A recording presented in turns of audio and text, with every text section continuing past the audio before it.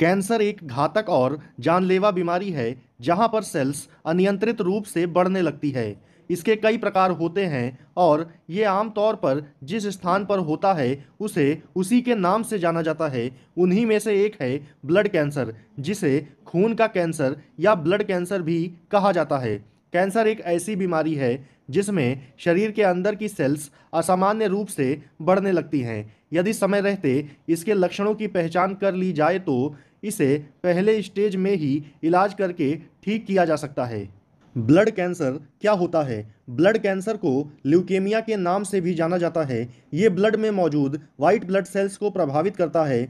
Leukaemia में bone marrow असामान्य white blood cells को बहुत ज़्यादा संख्या में बनाती है, जिन्हें ल्यूकेमिया सेल्स कहा जाता है।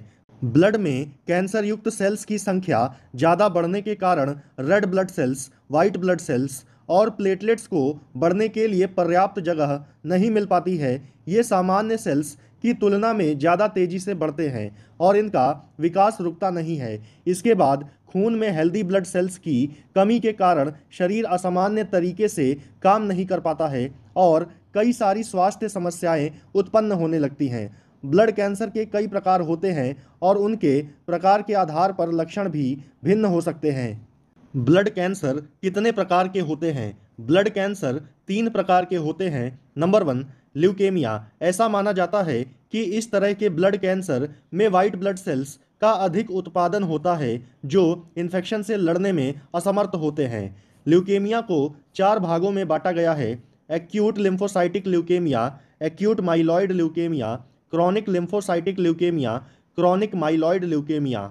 Number two lymphoma lymphoma blood cancer lymph system को प्रभावित करती है, जो नसों का एक नेटवर्क होता है, जिसमें लिम्फ नोड्स स्प्लीन और थाइमस ग्लैंड मौजूद होती है। नंबर थ्री माइलोमा ये कैंसर बोन मैरो की प्लाज्मा सेल्स को प्रभावित करता है, जिसमें हड्डी ब्लड और किडनी को नुकसान पहुंचाती है।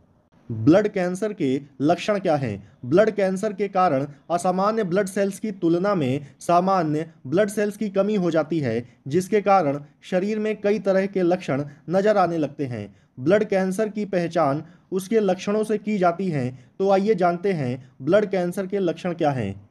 जैसे लगातार बुखार का बने रहना, हड्डियों में दर्द रहना, नाक, मसूड़े या मलाशय से लगातार ब्लीडिंग की समस्या, रात को सोते वक्त पसीना आना, महिलाओं में पीरियड्स के दौरान भारी ब्लीडिंग होना, भूख नहीं लगना, वज़न कम होना, रात को सोते वक्त पसीना ज़्यादा आना, बिना कुछ किए ज़्यादा थकान महसूस होना, गला, कमर या हाथ के नीचे गांठ बनना या ग्रंथि में सूजन होना आदि प्रकार के लक्षण हो सकते हैं। ब्लड कैंसर के कारण क्या हैं? विशेषज्ञों के आधार पर अभी तक ब्लड कैंसर के कोई ठोस कारणों का पता नहीं चला है। कुछ चीज़ों के सेवन से ब्लड कैंसर होने की संभावना बढ़ जाती है। इसके अलावा कुछ खास तरह के केमिकल्स या रेडिएशंस के संपर्क में आने से भी ब्लड कैंसर का खतरा हो सकता है, जैसे बेंजीन ब्लड कैंसर की आशंका को बढ़ा देता है। ब्लड कैंसर के कितने स्टेज होते हैं? ब्लड कैंसर को चार स्टेजों में बांटा गया है। स्टेज नंबर वन, लिम्फोसाइट्स की संख्या में अचानक वृद्धि के कारण लिम्फ नोड्स भी बढ़ जाते हैं। ये दूसरों की तुलना में बहुत कम खतरनाक होते हैं और इनका इलाज पूरी तरह से किया जा सकता है। स्टेज टू, ब्लड कैंसर के दूसरे चरण में स्प्लीन, लिवर और लिम्फ नोड्स बढ़ जाते हैं। ये ज़रूरी नहीं है कि सभी अंग एक साथ ही प्रभावित हों, लेकिन निश्चित रूप से इनमें से एक अंग प्रभावित होते हैं। कैंसर इन अंगों पर धीरे धीरे अटैक करता है। स्टेज थ्री, ब्लड कैंसर के इस स्टेज में पेशेंट अनीमिया से ग्रसित हो जाता है और स्प्लीन, लिवर और लिम्फ नोड्स कैंसर से प्रभावित होने लगते हैं। तीसरे स्टेज में दो या दो से ज़्यादा अंग प्रभावित होते हैं।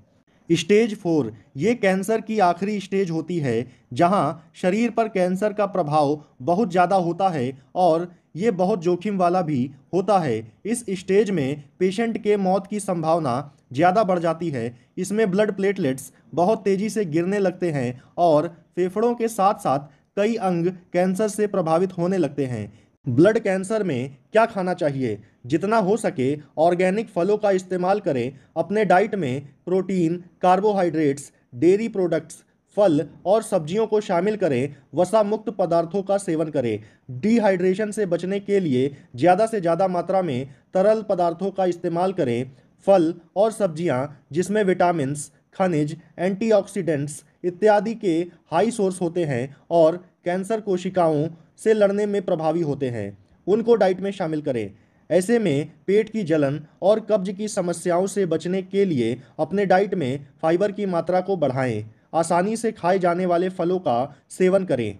क्या ब्लड कैंसर का इलाज संभव है या नहीं? आज के समय में मेडिकल साइंस इतना आगे बढ़ गया है कि लगभग हर तरह के कैंसर का इलाज संभव है। लेकिन ज़रूरी है समय पर कैंसर के बारे में पता लगना। यदि सही समय पर कैंसर के बारे में पता चल जाता है तो इसके इलाज की सफलता की दर बढ़ जाती है।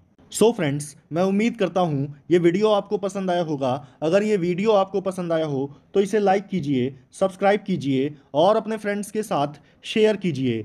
Thanks for watching this video